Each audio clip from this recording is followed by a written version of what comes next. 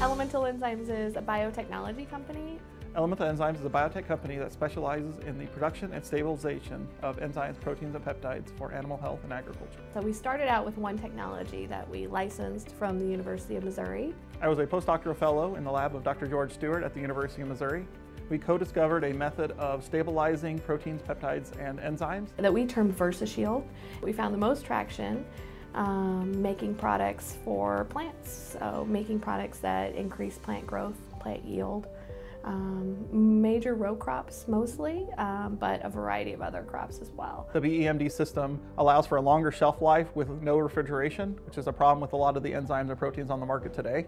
Um, specifically within other industries, it allows the, the, enzymes to be more thermal stable, which means they last under heated conditions, another circumstance where enzymes are not very stable. So our initial products, uh, like I mentioned, were in ag, um, using the VersaShield system. But since then, we've really branched off.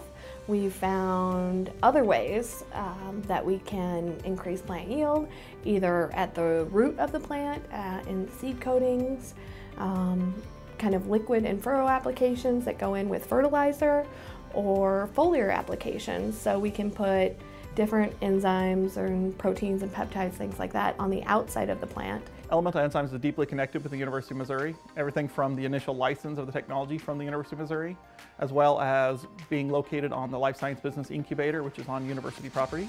We also lease a greenhouse and research uh, farm space at the Bradford Research Farm. Um, and we have collaborations with a number of professors at the University of Missouri. I think one of the great things about MU and Columbia in general is you know, we got help from the SBTDC, um, we got help from the Missouri Innovation Center, the folks over at the incubator. So I think the University of Missouri did a really good job at coaching us as how we could bring the technology to market. Um, and the Columbia area itself is actually right for entrepreneurs. Just reaching out to everyone kind of gave us a complete picture and um, really helped, helped us get our bearings in business. Uh, great.